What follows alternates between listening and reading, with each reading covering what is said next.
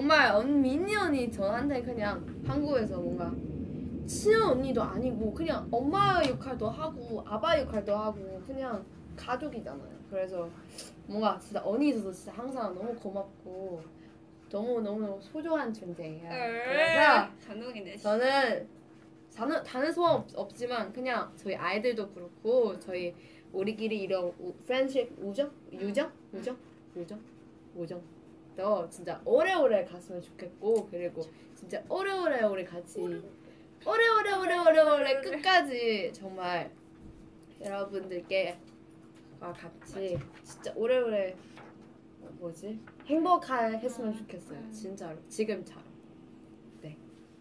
One, two, three, four.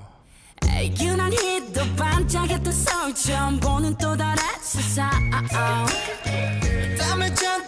잔뜩